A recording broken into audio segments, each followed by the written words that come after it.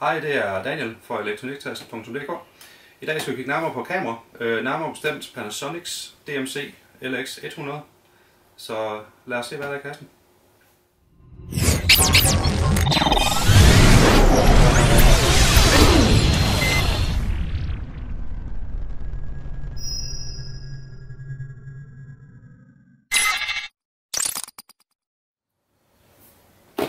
Nå, lad os se nærmere på det. Øhm, det er jo et point shoot kamera i en lidt højere prisklasse. Og det har et like objektiv, så vi har også nogle relativt høje forventninger til billedkvaliteten på det. Øh, derudover så har det billedstabilisator, det har øh, 4K videooptagelse, så øh, videoen skulle også være ret god derpå. Så har vi et, øh, et objektiv, der går fra 24 til 75 mm, så er altså cirka 3 gange zoom det samme som de fleste andre point shoot kameraer. Men øh, til gengæld så har vi en meget, meget lav blænde, der går fra, fra 1,7 til 2,8, afhængig af hvor meget man zoomer. Øh, det gør altså, at man kan bruge det her kamera i alle øh, lysføl, eller lysforhold. Og øh, ja, selvom der er mørkt, kan man faktisk få ret gode billeder med det, rent teoretisk. Vi har tænkt os i den her omgang at sammenligne det med et Canon EOS 650D med øh, et 118-135 mm objektiv øh, som standardobjektiv, og så et, et 100 mm makroobjektiv, øh, simpelthen for at have noget, noget relativt godt at sammenligne billedkvaliteten med. Men lad os se, hvad der er i kassen.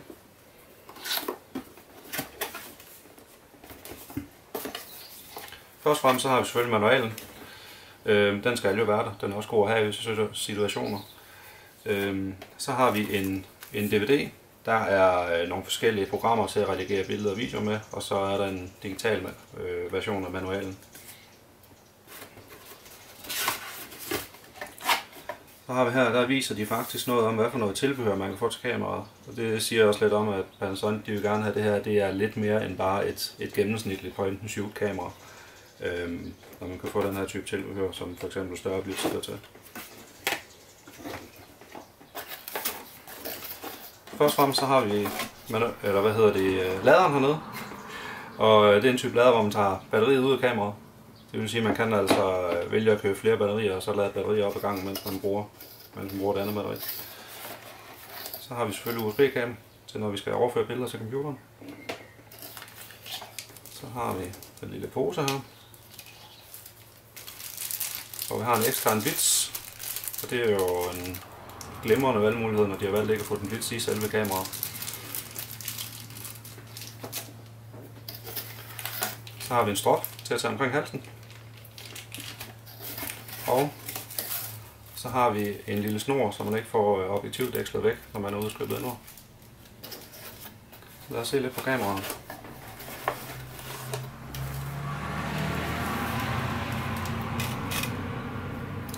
Med det samme man tager det i hånden, så får man altså indtryk af et rigtig lækker kamera. God kvalitet.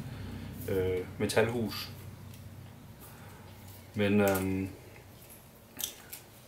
der er rigtig mange indstillinger, man kan lave direkte på kameraet, uden at skulle ind i nogle øh, menuer og noget. Det, det tiltaler mig rigtig, rigtig meget.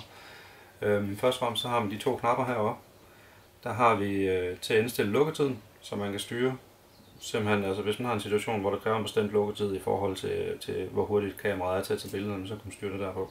Så har vi herovre til at styre øh, lys, øh, lysstyrken. Øhm, så hvis man tager billedet ud i solen for eksempel, og billederne de bliver lidt overbelyst, så kan man simpelthen skrue ned for lysstyrken direkte der, i stedet for at skal ind i en hel masse menuer, som på mange andre kameraer.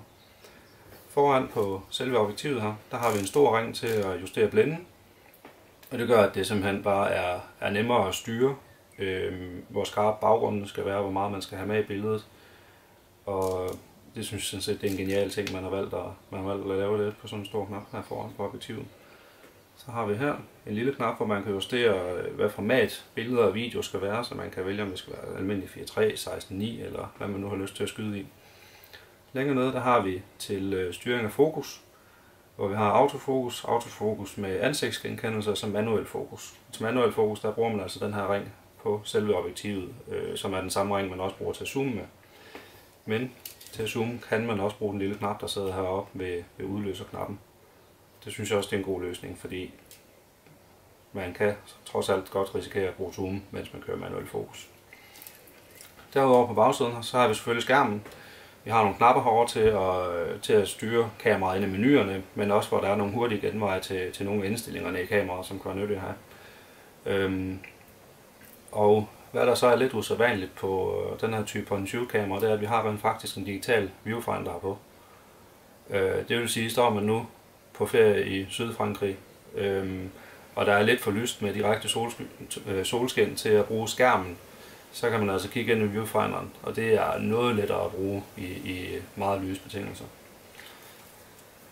Så det er i hvert fald også en positiv ting, synes jeg.